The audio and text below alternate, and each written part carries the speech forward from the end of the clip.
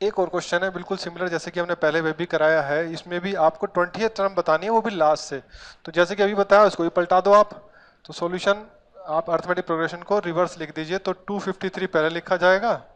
उसके बाद सोन सोन सोन और फिर आपका आएगा 13 फिर आएगा 8 फिर आएगा 3 तो इस केस में जो फ़र्स्ट टर्म बन जाएगी, वो बन जाएगी 253 कॉमन डिफरेंस कॉमन डिफरेंस किसी भी दो से निकाल लो, आठ माइनस तेरह करोगे आप।